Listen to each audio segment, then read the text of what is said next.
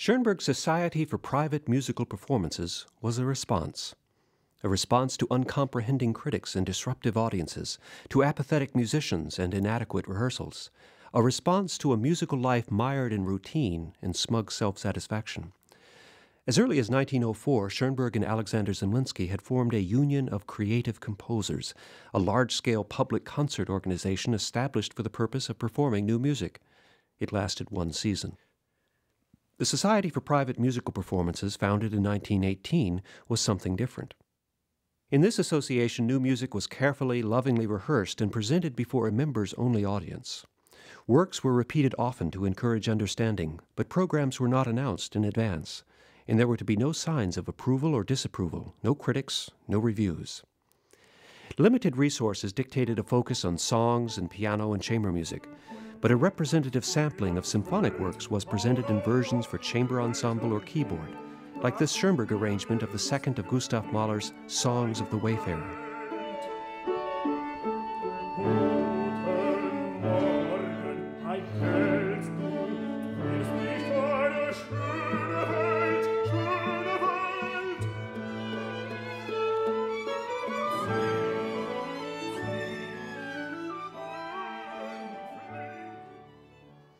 For all its exclusive qualities, the Society was no inward looking association of self serving iconoclasts. Rather, it was a distillation of the finest aspects of Viennese musical tradition. More profoundly, the Society proved to be a forum for healing the wounds of the First World War, in which Schoenberg, like so many others, had served.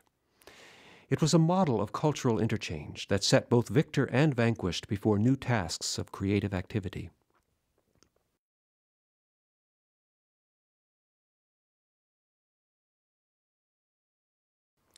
There can be no more eloquent testimony to that goal than the poster of works for the Society's first hundred concerts.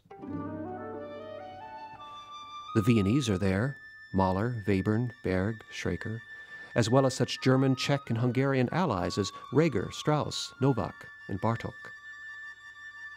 But former adversaries are no less prominent the English, Poles, and Russians, and from France, Debussy, Dukas, and Maurice Ravel, who heard a program of his music, including these Mallarmé songs, in a visit to the Society in 1920.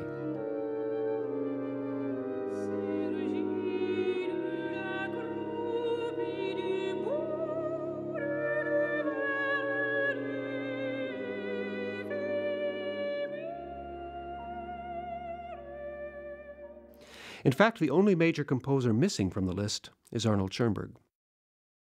If Schoenberg's music was absent from the first Society concerts, his personality was the dominating presence. The Society's rules reflected his mistrust of critics, so maliciously caricatured in his paintings.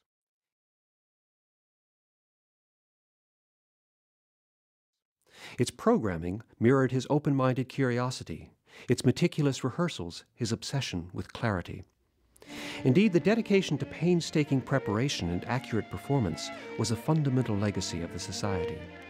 Alban Berg and Anton Webern coached rehearsals. Edward Steuermann and Rudolf Serkin were among the distinguished performers, and the legendary Kolisch Quartet was born from the Society's concerts. Here they are in a 1937 recording of Schoenberg's first string quartet.